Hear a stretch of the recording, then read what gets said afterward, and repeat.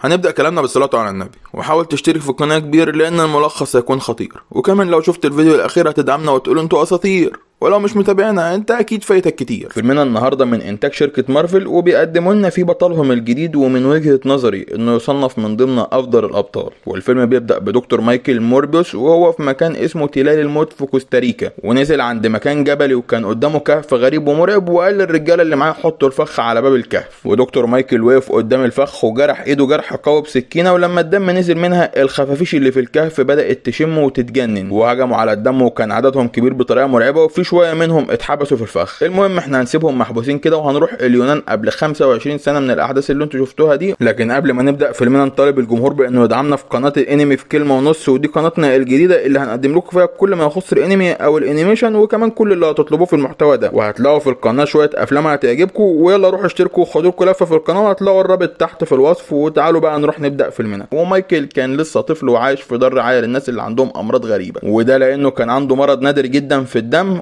وفي يوم من الأيام في طفل تاني راح لنفس المكان وكان عنده نفس المرض والطفل ده اسمه لوسيان لكن مايكل سماه مايلو هو غتاتة كده. ومايلو ده بقى عارف إن مايكل بقاله كتير في المكان ده ولسه ما اتعالجش. ومايكل كان خنزير معاه شوية وقال له إحنا ملناش علاج لأن في حاجة مفقودة في الحمض النووي بتاعنا ولو ما خدناش الرعاية الصحية الصح هنموت. وقطع كلامهم شوية طلاب خنازير خارجين من المدرسة اللي جنبهم وفضلوا يتريقوا عليهم عشان مرضى. متخيلين التنمر وصل لفين؟ وفجأة الجهاز اللي مايلو متوصل عليه حصل فيه عطل فاغمى عليه. وكان داخل لمرحلة الموت ومايكل لما شاف كده حاول يساعده بسرعة واستخدم قلم عشان يصلح الجهاز. وخد منه السوسته اللي فيه وفعلا صلح الجهاز ولما اشتغل مايلو فاق تاني والدكتور اللي مسؤول عنهم اسمه نيكولاس لما عرف اللي حصل قال أنا كبهير انبهرت لأنه كان محتاج فريق كامل من العلماء عشان يصنعوه وانت صلحته بكل بساطة بسوسته قلم. وبصراحة كده هحس بالذنب لو دفنت موهبتك دي وهوصي عليك في مدرسة للموهوبين وهم اللي هيتكفلوا بكل مصاريفك لأن بصراحة أنت موهوب وخسارة تضيع. ومايكل ساب رسالة لمايلو وقال له ده مش وداع لأني هلاقي العلاج لينا عشان نعيش لحد ما نعجز. ودكتور نيكولاس وعد مايكل إنه هيرعى مايلو ويهتم بيه ونروح بقى بعد ما مايكل كبر ورجع من رحلة صيد الخفافيش اللي هو كان فيها. وحضر حفلة معمولة عشانه عشان يتكرم على اختراعه هو إنه طور الدم الصناعي لدرجة إنه أنقذ حياة ناس كتير جدا والمفروض إن ملك السويد هو اللي كان هيكرمه بجائزه نوبل. لكن مايكل موربيوس رفض يتكرم لإنه شايف ان اللي هو وصل له ده كان نتائج جانبية لتجربة فاشلة هو كان بيعملها. ومارتن الدكتورة المساعدة ليه وكمان حبيبته استغربت منه لإن الجائزه دي كانت هتعيشه ملك بقيه عمره وغير المستثمرين اللي هيطلبوا يشتغل معاهم في كل أنحاء العالم. لكن هو ما كانش مهتم بأي حاجة غير إنه يلاقي علاج لمرضه. ومارتن قالت له طب هو مايلو الداعم السخي بتاعك يعرف التجارب اللي أنت بتعملها هنا والتجارب دي هي إنه بيحاول يخلط الدم البشري مع دم الخفافيش عشان يلاقي علاج لنفسه. وخد جزء كده من خفاش مسؤول عن هضم الدم اللي الخفاش بيمصه وحطه في جهاز عشان يطلع له المصل ده. ولما المصل طلع خده عشان يختبره على فار تجارب. والفار بعد وقت بسيط جدا ما استحملش المصل ومات. وبعد كده مايكل فقد الأمل. ومارتن لقت الفار فاق ولسه عايش فاتصدمت وقالت لمايكل وهو أول ما عرف إن التجارب بتاعته نجحت فرح وراح لمايلو صديق طفولته ودي بقى فيلة مايلو. وكان عنده شوية guard ات تحس إنهم بيبان ولما دخل له كان دكتور نيكولاس عنده عشان هو اللي مسؤول عن رعايته لحد دلوقتي. ومايكل خده وخرجوا يتمشوا وبعد كده قال له أنا لقيت العلاج لمرضنا خلاص لكن لسه محتاج شوية دراسة واختبارات وعشان كده أنا هختبره على نفسي. بس لازم أكون في مركب في نص البحر لزوم الأمان ومايلو وفر له المركب اللي هو محتاجه. وكمان كان معاه شوية ناس مرتزقة ومسلحين لزوم الحماية من أي خطر ومعاه المساعدة بتاعته مارتن. وجهز المصل اللي هيحقن نفسه بيه وإداه لمارتن اللي حقنته بيه وربطته في سرير عشان ما يعملش أي تصرف مش طبيعي وكمان كان محبوس في غرفة المفروض إنها أمان. وفي واحد من الجماعة المرتزقة اللي معاهم لقى الكهرباء بترعش فراح عشان يشوف هما بيعملوا إيه ولما دخل المختبر فجأة مايكل اختفى من قدامهم فدخلوا عليه الغرفة. ومارتن شافته لازق في السقف وشكله بقى مرعب والراجل ده أول ما شافه خاف واستدعى أصحابه. وبعد كده بدا يضرب نار عليه لكن مايكل هجم عليه وكان سريع جدا ومارتن لما شافت كده خافت فخرجت من الغرفة بسرعة وقفلتها عليه.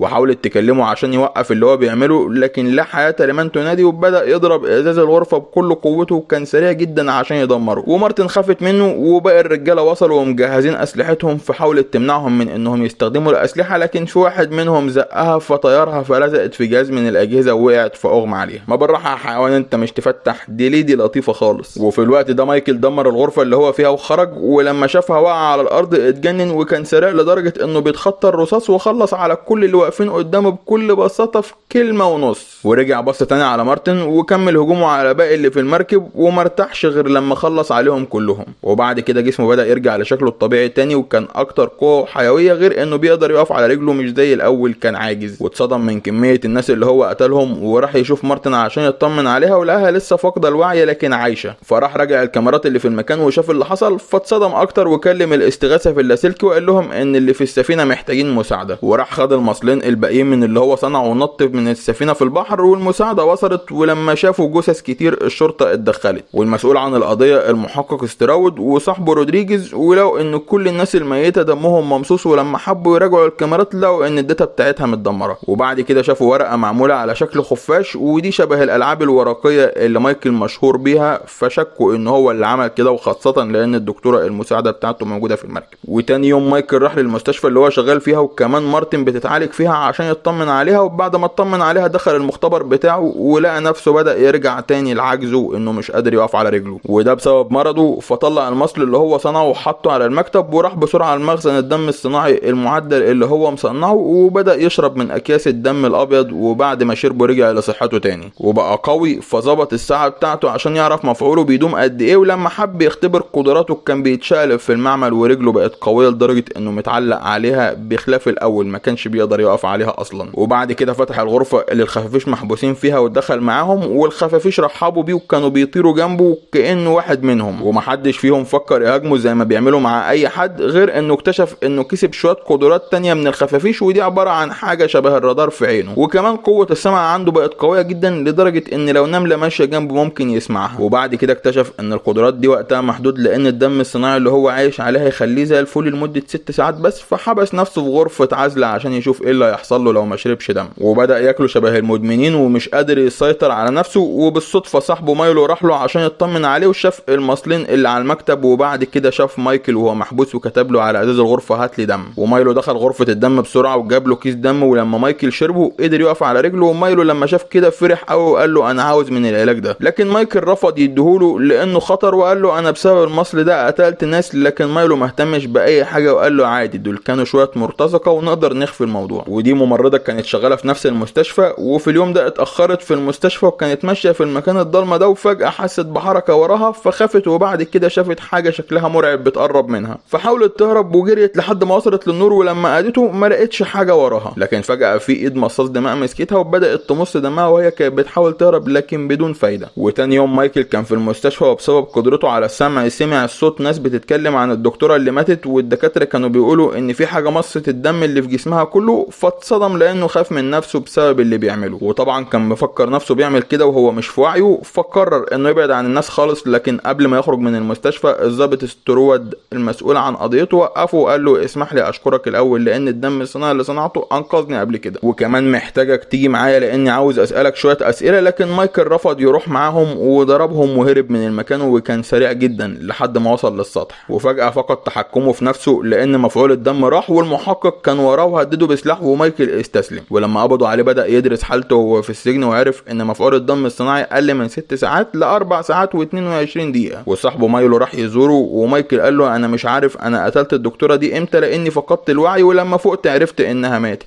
ومايلو قال له أنا مش مصدق إنك ممكن تعمل كده لأنك بتعالج الناس ما بتقتلهمش ومستحيل تكون أنت اللي عملتها. ولما الزيارة خلصت مايلو ساب له كيس دم وقال له ده هيساعدك عشان حالتك تستقر ولما خرج من المستشفى مايكل اكتشف إن مايلو خد المصل. وده لأنه بقى بيقدر يمشي وساب العصاية اللي هو بيتعكز عليها عند مايكل في السجن فاتضايق جدا وما قدرش يسيطر على نفسه وشرب كيس الدم وبقى قوي فدمر جدار السجن وهرب. عشان يروح ورا مايلو وفعلا شافه كان بيشتري حاجات وبعد كده قتل الراجل صاحب المكان عشان يمص دمه. وقال له انت ليه خدت المصل مع اني حذرتك منه انه هيحولك لوحش لكن مايلو كان شايف ان التحول ده حاجة حلوة مش وحشة. وقال له أنا اللي قتلت الممرضة لاني ما كنتش في وعي لأن كنت لسه واخد المصل جديد ولما اختلفوا في الكلام مع بعض بدأوا يضربوا بعض. وكان صراع جدا وهم بيضربوا بعض ودخلوا لمحطه مترو وهم لسه في خناقتهم والشرطة وصلت لهم عشان تقبض عليهم لكن مايلو كان فرحان بقوته وخلص عليهم. وكان فخور قوي بنفسه وبيرقص في وسطهم من كتر فرحته ومايكل لما شافه بيعمل كده عرف إن مفيش منه فايدة وسابه ومشي. لكن مايلو راح وراه عشان يخلص عليه وبعد شوية ضرب مايكل سمع صوت قطر جاي فاستخدم قوة الطيران بتاعته اللي هو لسه مكتشف انها عنده طار. وفضل طاير قدام القطر لحد ما هرب من مايلو لأنه مش عاوز يحاربه وراح يقابل مارتن الدكتورة المساعدة بتاعته قال لها مش أنا اللي قتلت الممرضة ولا حتى الضباط بتوع الشرطة. ومايلو هو اللي بيعمل كده ولازم أوقفه ومحتاج مساعدتك وقال لها على شوية حاجات تجيبها له من المختبر بتاعه وسابها ومشي. ورا شوية عيال سمع إن عندهم معمل لصناعة المخدرات. لحد ما عرف مكان المعمل ده ودخل عليهم وكل اللي هو عمله ضرب واحد منهم بس والباقيين هربوا. واللي اتضرب ده سأل مايكل أنت مين يا عم؟ ومايكل قال له